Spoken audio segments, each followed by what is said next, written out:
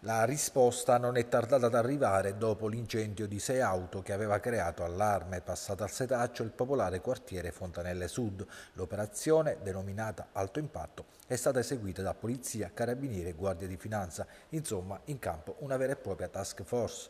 L'attività per prevenire e reprimere gli episodi di microcriminalità è stata estesa anche a Villa Rosina. Sì, si è trattato di una risposta da parte di tutte le forze di polizia, alle quali va il mio personale ringraziamento per l'intenso lavoro che hanno svolto in, questa, in queste settimane. È stato un lavoro coordinato, soprattutto con la compartecipazione dei Carabinieri, Polizia di Stato, Guardia di Finanza e mi sembra che i risultati siano stati assolutamente di grande rilievo.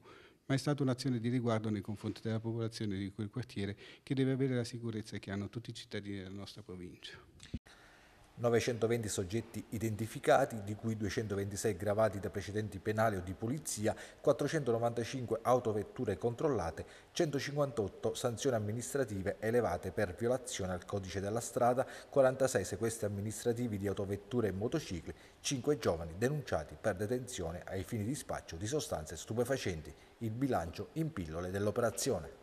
I controlli proseguiranno ovviamente proseguiranno, come ha detto anche il signor Questore, non solo nostro, in quel quartiere ma anche in altri quartieri e quindi l'azione viene portata avanti in maniera sistematica su tutto il territorio. Non riguarda soltanto Trapani, riguarda anche altre parti del territorio provinciale e quindi siamo sicuri di poter dare una risposta adeguata in termini di sicurezza nei confronti della popolazione dei nostri territori.